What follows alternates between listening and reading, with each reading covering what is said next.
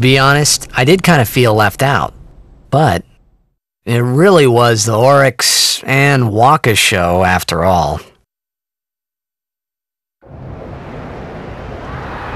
I wonder what's happening. The crowd is going wild.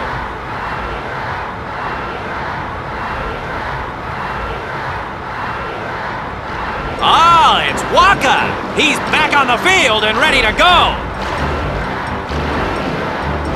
The Aurochs seem glad to have him back.